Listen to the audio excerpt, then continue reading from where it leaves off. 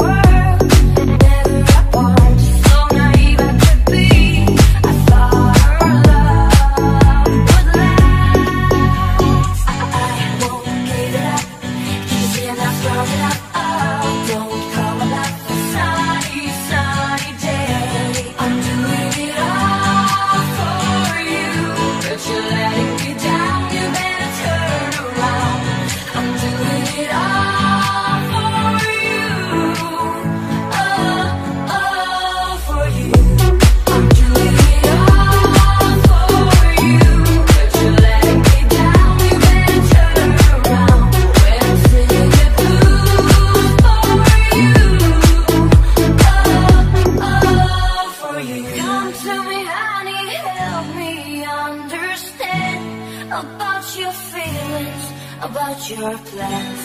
Just one more chance to hear my